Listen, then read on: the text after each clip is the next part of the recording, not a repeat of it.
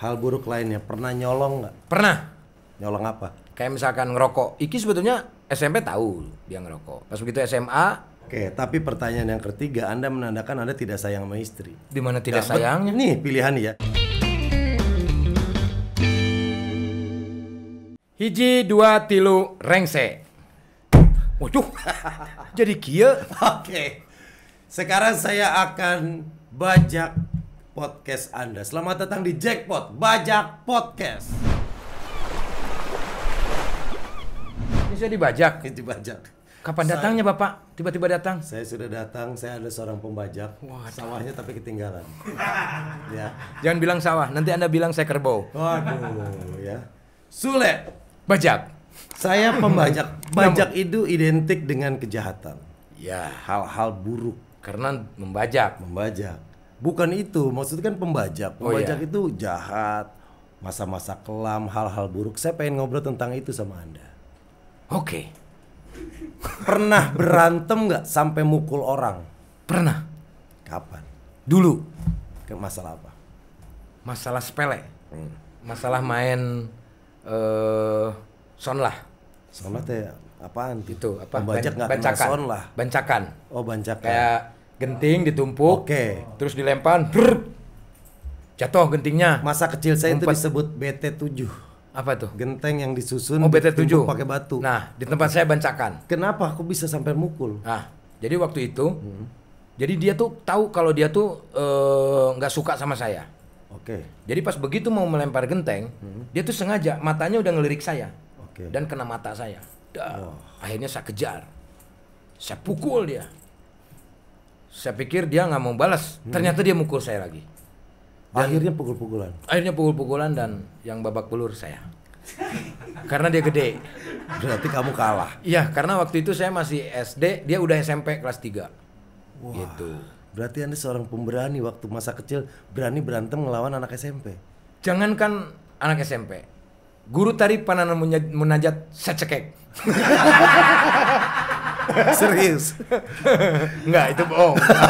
bohong itu. Cuman kalau kalau berantem, tapi kalau dulu tuh sistemnya saya itu satu lawan satu, one Oh, man show. Oke. gitu. Nggak nggak eranya tawuran dulu. Bukan, bukan eranya Satu tawuran. lawan satu? Satu lawan satu, gitu. Tapi nggak pernah menang. Oke. Berantem berarti pernah waktu masa kecil. Masa kecil pernah, Hal buruk lainnya pernah nyolong nggak? pernah Nyolong apa? nyolong duit Di di laci punyanya Abah. Abah kan tukang bakso. Oke. Saya colong gitu. Jadi saya ambil 100 100 saya tabungin untuk lebaran. Nonton ke bioskop Rio. Nonton warkop waktu itu. Setiap lebaran suka ada warkop. Jadi saking pengen nontonnya film komedi, akhirnya saya melakukan hal buruk itu. Oke, nyolong duit abah. Nyolong duit Abah. Sering Sering. Tiap bulan puasa. Waktu abah lagi dagang bakso. Lagi dagang bakso. Sampai akhirnya abah bangkrut. Akhirnya Abah ya sempat bangkrut. ya, karena dicolongin sama anaknya. Enggak, emang gak laku baksonya. Oke. Pernah jahatin temen? Apa? Jahatin temen. Jahatin temen. Kalau jahat sih enggak. Ngerjain sampai parah. Separah apa? Gua pernah ninggalin temen gue di Kalimantan. Itu gua. Gua di bandara itu kenalan. Itu mungkin hukum karma. Gua juga seperti itu. Oh pernah? Iya. Sejail apa? Sejahat apa kejailan dulu? Misalkan gini. Jadi orang udah bahagia tuh akhirnya jadi sedih. Hmm. Misalkan manggung. Oke. Ton, manggung ton. Nih ada orangnya di sini. Ke mana? Gedung. Harus pakai pentopel. Harus pakai jas, jam tangan, rapi, pakai lavender. Waduh. Oke, saya tahu-taunya manggungnya di Soreang, tapi ngelewatin dua gunung dan hujan, terus jatuh lagi. Dia marah-marah waktu itu. Itu baru satu, banyak lagi kejailan. Ada yang nggak punya acara, misalkan manggung, kan dulu saya kan acaranya manggung nggak capi, main gendang itu. Di acara hajatan. Nah, si Ogi misalkan, Gi, ada acara nggak? Nggak ada nih, ada acara. Antariksa udah sini. Oh siap siap. Wow tuh. ke Antariksa emang bener ada yang hajatan, tapi guanya nggak ada. Habis itu ditelepon, langsung matiin telepon, nggak aktif. Habis itu saya dicari selama seminggu. Dia udah datang siap panggung. Udah datang, Taunya emang nggak dapat order, nggak dapat job. nggak ada. Pas begitu dilihat, nayaganya beda, pemain ininya beda. Ini siapa? Mas ini acara bareng sama Sule nggak? Enggak katanya bukan. Ini mah Dwi Komara. Oh ya udah balik lagi. itu itu jahat banget. Temen satu grup itu dulu. Satu grup dan tidak hanya Ogi ada teman-teman yang lain juga. Mhm. Nah kalau misalkan masa kecil Mhm. Pak Bajak dulu Ya. saya eh, pernah kalau di kampung itu kan ada panggung. Hmm. Te- rumah panggung itu. Rumah yang ada golodognya lah Iya. apa ya golodog. Ada kolongnya. Ada kolongnya. Oke. Waktu itu ceritanya si Nonong saudara saya. Nah, ada pacarnya datang ke situ. Hmm. Bapaknya nggak setuju sama ini pacarnya. Oke. Tuh, setujunya sama yang lain. Akhirnya saya dengar kan, oh bapaknya nggak setuju ya. Berarti gua harus mencari ide bagaimana supaya dia tidak balik lagi gitu. Ikut-ikutan lah gitu kan. Akhirnya kan dia pakai sendal tuh. Ya. Dia tuh orang kaya, sendalnya juga udah sendal sekul tau, sendal sekul. Oh, Nah. top waktu itu. Ah, tuh. biasanya kalau sendal jepit itu pakunya cukup paku 5 cm. Oh, tembus tuh. Tembus sampai kayu. Oke. Nah, sendal sekul kan ini harus eh, yang 10 cm, saya sampai nyari 10 cm. Buat Jadi- ngerjain. Iya. Jadi sengaja si Nonong itu dia si cowoknya bawa ke kebon, nah, saya maku sendal itu. Paku sampai rapat ke nih kayu kayak gini. Gitu. Pas jam 10 pulang. Pakai sendal tuh. Kan mau ngelangkah kait. Puh, jatuh. Kenapa disebut jahatnya di mana coba? Kenapa? Di depannya ada batu. Padahal nggak nggak menduga bakal gitu Enggak kejadiannya. menduga bakal itu. Di situlah penyesalan saya. Saya nggak mau jahit lagi di situ. Karena sendalnya dipaku ke Dipaku, kayu. dia mau ngelangkah Nggak bisa kan nggak nyangkut, iya. jatuh untungnya batunya kecil padanya terus saya nggak ketahuan sampai sekarang siapa yang jahil itu itu Nama korbannya siapa? Hah? Waktu itu? jangan ketahuan dong jangan dia kan belum tahu belum tahu jangan Iya, iya. belum tahu kalau orang Ban- orang Bandung mah biasanya Asep panggilannya Iya. Buat si Asep yang pernah kejedot batu kecil, ini pelakunya. gue dicari ntar Oke. Pernah semarah apa sama anak? sama anak nggak pernah marah Nggak pernah marah. nggak pernah marah Senakal apa pun. senakal apa pun Oh. nggak pernah Ngelarang? nggak Biarin aja. biarin aja Kenapa sepercaya itu? Eh, karena gini, Hmm. manusia itu pasti ada hak untuk mencoba dan merasakan, Oke. Yang terpenting, yang terpenting itu dia sudah punya penghasilan. Hmm. Yang pertama itu, udah punya penghasilan sendiri, terus tidak melebihi kapasitas kenakalannya. Taruhlah saya mah asal jangan narkoba udah cukup. Kayak misalkan ngerokok, Iki sebetulnya SMP tahu dia ngerokok, dah biarinlah. Gue juga bandel dulu. Pas begitu SMA, dia pastilah ngerokok. Ngumpet-ngumpet pasti kan? Iya. Nggak mungkin nggak gitu. Habis itu udah keluar sekolah, dia dia segen. Sampai-sampai ketemu ngerokok tuh langsung dimatiin gitu. Padahal gue biasa aja. Gitu. Artinya mendingan lu ngomong daripada lu bohong, mendingan lu ngomong terus terang. Ya ngerokok gitu. Udah ya ngerokok aja kan ngerokok dia, Oke. bukan saya. Dan sambil mantau sejauh apa sih nakalnya? Kalau Ya. masih normal-normal aja ya udah. Normal-normal aja nggak ya udah gitu. Oke. Dalam hidup pernah sakit hati banget nggak sama orang? Hmm, pernah bahkan banyak, tapi saya tidak mau mengungkit masa itu. Biasanya kapan? Karena apa? Prinsip atau merasa direndahkan? Direndahkan pernah, Oh, pernah direndahkan. Waktu muncul-muncul lah, muncul-muncul jadi pelawak. ya. Awal-awal? Ya awal-awal. Oh, Pernah lah. dibilang nggak lucu. Ya, gitu. eh, ya itulah pokoknya seperti itulah. Pernah lah sampai eh, ada fisik lah gitu. Oh sampai ngomong. Mm-mm. Oh, Sampai saya nggak mau cerita sini. iya. Nggak cocok, maksudnya lo nggak cocok jadi pelawak gitu. Hmm, bisa dikatakan secara tidak langsung gitu. Ya itu kan perjuangan, Oke. Pak Bajak. Siap. Perjuangan dan saya bisa nggak menerima ini Iya, gitu iya. kan? Nggak, Anda bisa nggak biar saya lebih berwibawa dikit Hah? gitu. Ya, Pak Om Bajak Oh gitu ya, Om Oh, Bajak, iya. gitu Om Bajak. Oh, jadi pernah mengalami itu. Pernah mengalami itu. Tapi ya sudahlah. Penyesalan apa yang uh, Kang Sule rasakan yang berhubungan sama orang tua? Bandel Bener. dan jauh dari orang tua. Kenapa saya menyesal? Karena saya sekarang merasakan. Jadi Menjadi orang tua. mung- iya, menja- mungkin ini perasaan saya.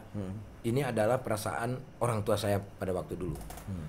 Artinya anak udah jauh dengan pekerjaannya dia sendiri gitu kan. Kadang-kadang sebulan sekali. Nah, itu saya banget. Makanya itu saya menyesal. Makanya saya harap buat anak-anak walaupun lu punya dunia sendiri, lu harus tetap ada di dekat orang tua. Jangan sampai lu nanti pas begitu menikah, lu punya anak, lu akan ngerasain hal itu. Karena dulu saya di luar di luar Kang Denny. Karena Bapak kan galak. Bapak tuh wah main sikat lah gitu kan. Keras lah gitu. Jadi akhirnya pundung lah gitunya. Pundung kabur. Jadi satu tidur di mana aja Kang Denny.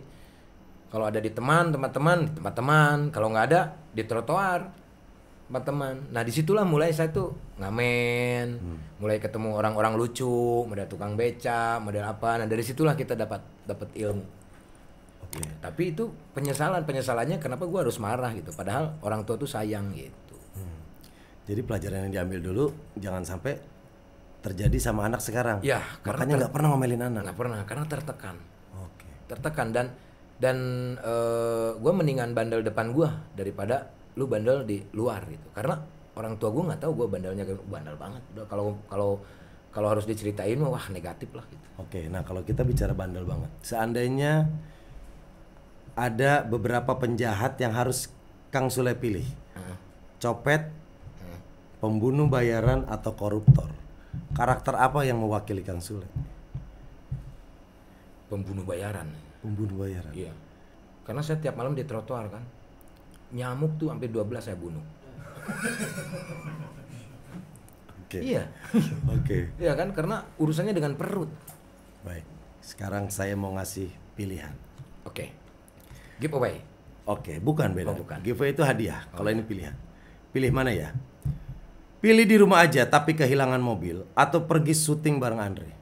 Pergi di rumah aja, Kehilangan mobil kehilangan mobil. atau pilih syuting bareng Andre. Ini mah bukan pilihan, semuanya juga nggak enak. Ya enggak saya pilih.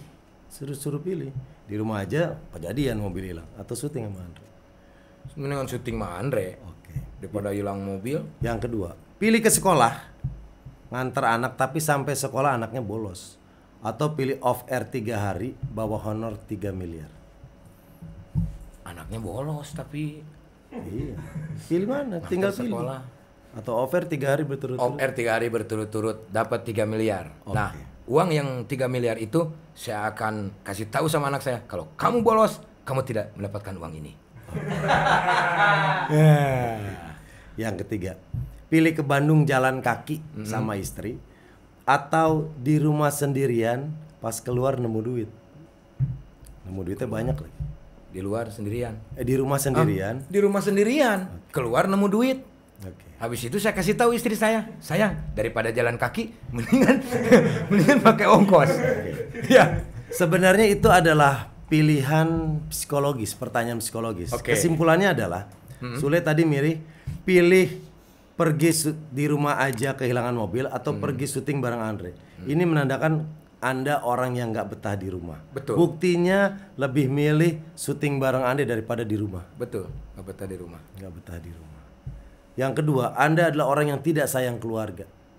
Kenapa? Di saat saya kasih pilihan, pilih ke sekolah ngantar anak atau di rumah eh off air bawa uang 3 M lebih off air daripada ke sekolah bareng anak Iya. tapi anaknya bolos. Iya. Berarti Anda nggak sayang keluarga. Sayang dong. Ini buktinya disuruh pilih ke sekolah ngantar anak tapi anak bolos atau off air bawa duit 3 Gua M. nganter anak nih, ya kan? Tapi gua nggak punya apa-apa. Anak makin hari makin gede. Nah, uang itu buat warisan untuk anak supaya anak berarti sayang dong. Oke. iya dong. Tapi kan kalau Anda sayang berarti Anda lebih milih ngantar anak dong ke sekolah. Karena bolos anak guanya ngapain gua nganter. Nih bayangin sama Pak Denny, saya nganter. Nah, ayo sekolah, Nak. Habis gitu gua pulang. Anak gua bolos, ngapain coba? Ya tapi kan pilihannya itu pilih ke sekolah ngantar anak tapi anak bolos apa over tiga hari dapat Justru tiga saya sayang karena saya nggak milih itu karena anak saya bolos. sayang sama keluarga. Kalau nggak sayang mah bolos dibiarin. Oke, tapi pertanyaan yang ketiga Anda menandakan Anda tidak sayang sama istri. Di mana tidak Dapat- sayangnya? Nih pilihan ya, Ah. pilih ke Bandung jalan kaki sama istri Ya, atau di rumah keluar rumah nemu duit Anda lebih milih di rumah daripada sama istri. tapi nemu duit, Denny. tapi nemu duit loh di situ. Kalau gua nggak sayang sama istri, gua tuh nggak bakalan rela istri gua harus jalan kaki. Mendingan gua dapet duit terus duit itu gua kasih bini gua untuk bayar bis. Naik mobil atau naik online. Sayang. Benar, benar, benar. Iya kan? Baik. Pertanyaan terakhir. Oke. Ada berapa video di channelnya istri Sunnah Official sampai detik ini? 143 video. 143. Iya. Salah. Kok salah? Jawabannya 167. Oh iya 167 benar. oh gua salah lihat video gua soalnya kan ada soalnya ada hashtagnya. Ih, nggak sayang istri berarti nggak tahu jumlah videonya. Emang ukuran sayang tuh harus tahu, harus tahu video jumlah videonya. Tapi kan itu tolak ukur. Anda tahu eh, istri apa enggak nih? Sama anak coba. Oke. Di albumnya Rizky Febian yang berjudul Jejak, Mm-mm. Rizky Febian pakai celana apa? Warna apa? Jejak Di cover albumnya. ke celana panjang, Warna yang saya tanyain. jin. Salah. Salah. Celana bahan warna hitam, di sininya ada strip merah. Tuh, nggak sayang anak, parah. Sebetulnya dia anak gua apa anak lu sih dia? lah terus ya gini gini aja. Urusan masa ay- sayang anak nih. Misalkan ini jadi kriteria sayang anak. Ini gua harus lihat video anak gua terus gua tulisin. Lagu jejak celana bahan. Lagu ini celana begi. Lagu ini. Ngapain? Habis energi mendingan gua off air dapat 3 miliar ya udah. Terima kasih Sule. Oke, Sudah sama-sama. dibajak Jackpot, Oke. bajak podcast. Terima kasih.